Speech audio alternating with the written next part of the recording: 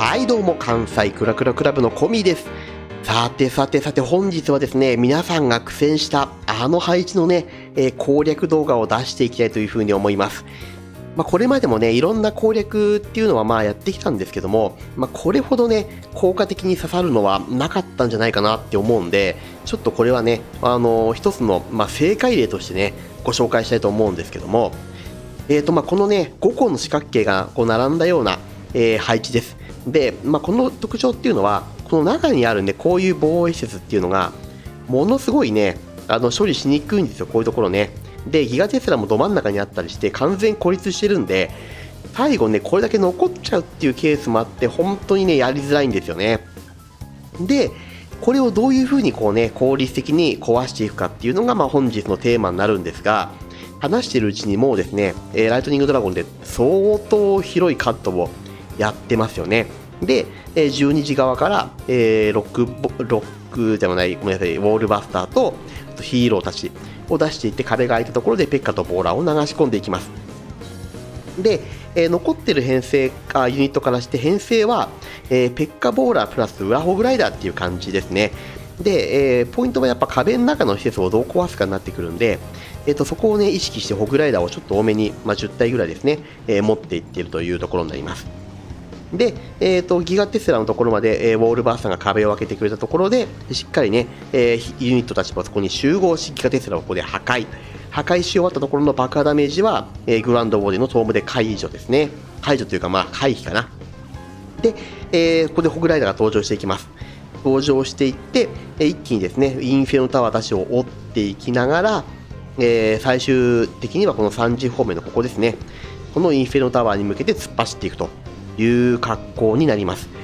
まあ、このねあの攻め方っていうのが、まあ、どんだけすごいのかっていうのはちょっともう一回ね、えーと、この、えー、リプレイ流しながら、えー、細かく見ていきたいというふうに思うんですけども、えーと、一番最後には、えー、失敗例っていうのも1個上げていきますんで、まあ、それを見てもらうとね、まあ、この配置がいかにこう取りにくいのか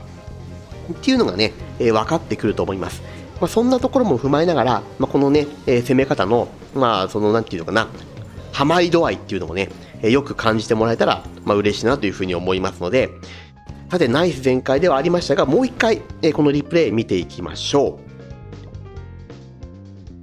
まずはですね、ライトニングドラゴンでカットをしていくんですね。で、カットをしていく時の、あの、ここ、レイジを打ってからのライトニングドラゴン。こうすることによって、回復法のね、ダメージっていうのがもうライドラに入っていってるんですけども、ライドラが対空砲にやられる前に、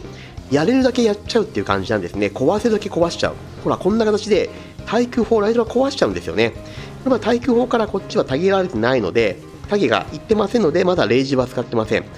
たげられた瞬間レイジを使って一気にチェーンライトニングで対空砲を壊していきます。これうまいですよね。でこうすることによってこの配置のこことここの区画っていうのをきっちりカットしていくんですね。でその次はできればインフェルノタワーでもない、まあ、えーと、イーグル砲を狙っていきたいんでこっちかこっちかから入っていくんですけども今回、えーと、チャンドラさんが入っていったのはこのクロスボウの区画ですね。おそらくこの後ホグライダーを使って回した時にクロスボウがあると結構ホグライダーがねやられていってしまうので、え、そのクロスボウを先に解除したのかなというふうに思います。でそのまま、え、壁に穴を開けていってイーグル砲を処理しつつでさらにその壁の奥に奥の方にある奥の奥の方にあるこのギガテスラこれをね狙っていきます。でここはしっかりとボーラーたちも合流して確実に落として星2を取っていきながらこうするともうこう綺麗な L 字ルートが出来上がるんですね。そこをホグライダーが一気にこう突っ走っていくという格好になりますね。さらにペッカとかがこういう風にね散ってるしこっちもバーブレンキングが散ってるしあえてユニットを散らせることで、えホグライダーたちのね、えダメージが、えなるべくホグライダーにあと防衛のダメージがなるべくホグライダーに入んないようなね、まあ、そういう調整をやっているのがわかると思います。で最終的にはここですねヒールの呪文を打ってホグライダーをしっかりと回復させてから、えー、残ったインフェルノタワーに突っ込ましていって全開まで持っていくと。いう格好ですね非常にお見事ですよね鮮やかすぎるまあ全開かなっていうふうに思いますこれはね、本当によくあの出てくる配置ですし、あのこの攻め方ね、刺さりやすいんで、ぜひぜひね、参考にしてもらいたいなと思いますね。特に、星2の延長にもなってるんで、まあ、そういう意味ではね、かなりいいかなっていうふうに私は思います。はい、ではね、こちら、えー、秋風さんが、えー、同じ村を攻めてくれたアタックになるんですけども、見てもらいたいというふうに思います。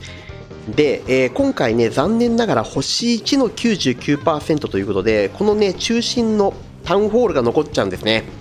で、これね、なんで残ったかっていうと、あの、時間切れなんですよ。時間がもうちょっとあれば全部取れたっていうところなんですね。ただ、えっ、ー、とね、本当にこれ私何度もあるんですけども、時間切れ多いんですよね、この配置って。攻めるときに。で、まあ私よくホグライダーを使うね、まあまさにこの秋風さんと同じような編成なんですが、えっ、ー、と、ホグライダーが最後まで回りきっていきそうなんだけども、90%ぐらいで時間が終わっちゃうみたいなね。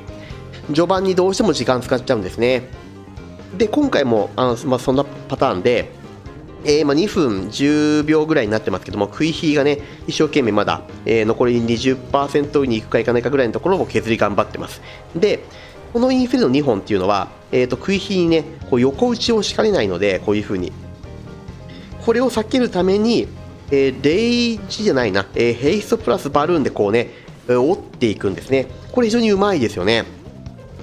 折っていって、で、えーと、後ろから、えー、ウォールバスターを出していってタウンホールを狙っていきます、まあ、これもね正直言ってしまうとあのここ、あのー、タウンホールに、ね、向かっているこの、えー、ウォールバスターがちゃんと、え、タウンホール壊してくれればね、まあ、確かに全開に行けたっちゃいけたんですけども残念ながらここ、えーと、このバーバリアンキングが、ね、反応しちゃって中に入っているペッカが、えー、ババキンたけっちゃったがためにタウンホールこれ壊せなかったんですね。で、えー、壊せなかったんで残ってしまったところにちょっと気づかずに、えホグライダーが3時からスタートしちゃいます。でもね、これ非常にこの格好いいんですよ。悪くはなくて、まあ、何がいいかっていうと、えっと、ここですよね、ここ。あの、あんまりね、こう壁の隙間が、あのー、密接しないというか、隙間があるので、僕の回るルートが綺麗にこう出来上がってるんですね。で、このルート通りにホグライダーがどんどんどんどん回っていきます。で、最後は、ギガテスラにこうアプローチして全開まで持っていくっていう絵がね、あの普通に描けるような感じになってるんですよね。ギガテスラからの攻撃全然ホグライダー受けてないじゃないですか、今。最後のヒールもしっかりと、えー、クロスボウや、えー、ウィストのあるところに使っていって、ダメージをなるべくこうね、えー、削減らしていきながら、えー、最後の区画、ギガテスラ方面に向かう準備を整えているんですが、残り25秒と、まあ、いうところでね、あのー、アーチャークイーンもクロークを残している状態で体力も満タン、バーベレンキングも満タンですよね。こんだけのユニットがこう残っていながら、残念ながら最後の最後で、こう時間切れで終わってしまう。あのね、これ本当に、あのー、じゃあこの時間をあと5秒、6秒負けるかって言ったら、意外とね、巻きにくいのがこの配置なんですね。まあ、もちろん星1で終わっちゃうっていう方もねたくさんいらっしゃると思うしこう時間切れになっちゃう人も、まあ、いると思うしあの星1っていうのは何ていうのかな あのタウンホールが壊せない星1ですねあの途中で全部ユニットがやられちゃうっていうパターン時間切れになる方もいらっしゃると思うしなかなかね全開が取れそうで取れないこの配置なんですけどもさっきね、あのー、最初紹介させてもらった、えー、チャンドラーさんのあのアタック。ぜひぜひね、皆さん、試してみていただければと思います。難しいことはあんまりしないで、えー、このね、えー、ユニットが溶かされてもしまうし、時間も切らされてしまう、いやらしい配置を全開取っていく、非常にね、いいアイディアだと思いますんで、まあ、ぜひぜひ、これねえ、ご参考にしてもらえたら幸いかなというふうに思います。はい、というところで、本日は失礼しますが、よろしければグッドボタン、チャンネル登録、そして今後もご視聴どうぞよろしくお願いいたします。ぜひね、え関西クラクラクラブにも遊びに来てもらえたら嬉しいなというふうに思いますのでお待ちしております。では失礼いたします。バイバイ。